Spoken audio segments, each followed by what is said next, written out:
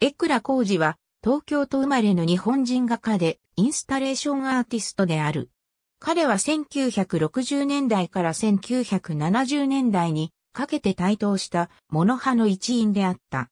モノ派の作家たちは石、鉄板、ガラス、電球、綿、スポンジ、紙、木、鉄線、ワイヤー、ロープ、革、油、水といったもの自身を主題にするとともに諸要素と空間の相互依存に焦点を当てた作品を制作した。また、自然的な物質と工業的な物質の出会いを探求し、それらを一過性の静止状態に配置することによって作品とした。父は洋画家の江倉翔吾。東京で生まれ、1966年に東京芸術大学美術学部油絵科を卒業、1968年に同大学美術研究科で修士号を取得し、1975年から1995年に死去するまで同大学で教員を務めた。エノキソウは1970年代初頭から紙、布、フェルト、革に油を染み込ませる手法で作品を制作する。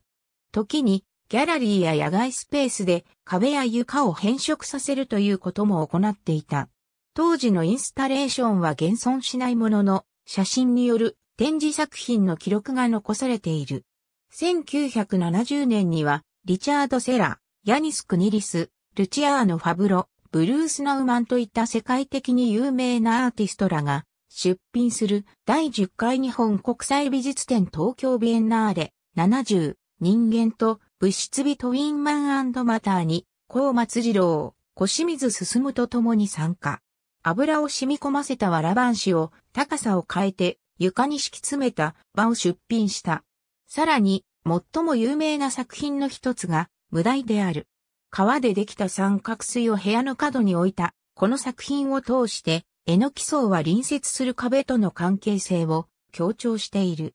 1971年の第7回パリ青年ビエンナーレに出品した壁というパリのフローラル公園の2本のコノマに高さ3メートル、幅5メートルのコンクリート壁を築いた作品もまた、同じテーマを用いた絵の基層の代表作である。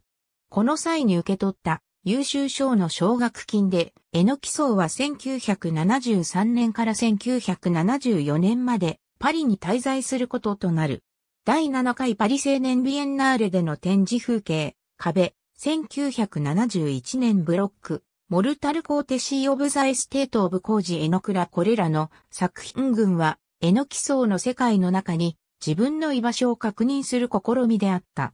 彼は、こう語っている。肉体と物との緊張感こそ、私が探りたいことであり、そしてこの緊張感が自分自身の存在を自覚し得る証だと思う1973年までに、榎倉康二、菅木志雄、龍関、関根信夫、そして小清水進、吉田勝郎といった作家たちは、モノ派と呼ばれるようになった。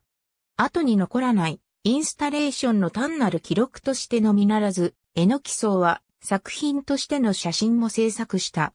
床の水たまり、机から滴り落ちる水、光の反射など、敷居の存在といった同様のテーマを用いたものである。予兆海、肉体は最も象徴的な作品の一つであり、打ち寄せる波に沿うように作家が海岸に体を横たえた様子を描いたものである。この作品について、キュレーターのサイモン・グルームはこう言及している。永遠に寄せては返す波が岸辺を洗う。世界に帰属するための媒体としての体、あるいは周囲の世界からの分離の気づきとつながりたいという我々の思いをこれ以上に通説に表現した作品はない。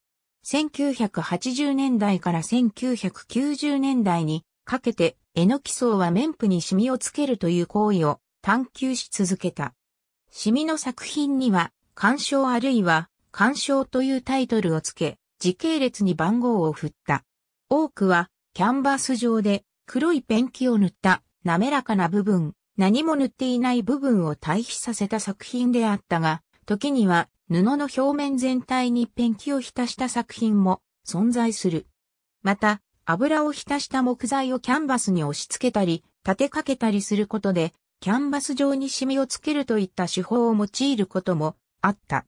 干渉ナンバー1、1987-248.5x333.3x30 センチメートル綿布、アクリル塗料 Courtesy of the Estate of Koji Enokura、and Blum and Poe Photo by, Joshua White 加えて、砂や水が入った瓶、あるいは鉢植えを置いた小さな棚板がついた作品に取り組んだのも、この時期である。さらに、一重あるいは二重に重ねた布を斜めに壁にかけ、床に垂らした作品も、この時期に数多く制作した。エクラ工事の初個展は1969年に東京の椿近代ギャラリーで開催された。それ以来、1994年の斎藤記念川口現代美術館国立国際美術館での展覧会を筆頭に日本各地で個展を行う。2005年には東京都現代美術館で大規模な回顧展が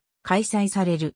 他にも第10回日本国際美術展東京ビエンナーレ70人間と物質美トウィンマンマター東京都美術館第7回パリ青年ビエンナーレ第2回シドニービエンナーレ第38回ベネツィアビエンナーレ70年代日本の前衛展エヴァンガーディ・ギャッポーネシ・デリアンニ70、世田谷美術展、94世田谷美術館、モノハ、最高国立国際美術館、リ、クエストマイナス1970年代以降の日本、現代美術展ソウル大学校美術館など大規模な展覧会に出品されている。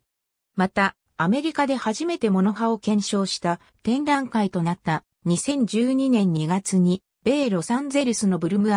ポーギャラリーで行われた太陽へのレクイエム、モノハの美術展で紹介されたことを契機に、アメリカでもエノキ、エノキソウの作品は、没後も、ブルムポー、ファーガス・マキャフリー、東京画廊、高石ギャラリー、鳩の森美術といったギャラリーで発表されている。エクラ工事の作品は、愛知県美術館、福岡市美術館、現美術館、広島市現代美術館、兵庫県立美術館、東京都現代美術館、埼玉県立近代美術館、国立国際美術館、東京国立近代美術館、プンタデラドガーナ美術館、世田谷美術館、東京都美術館、大阪中之島美術館をはじめとする数多くの美術館に収蔵されている。ありがとうございます。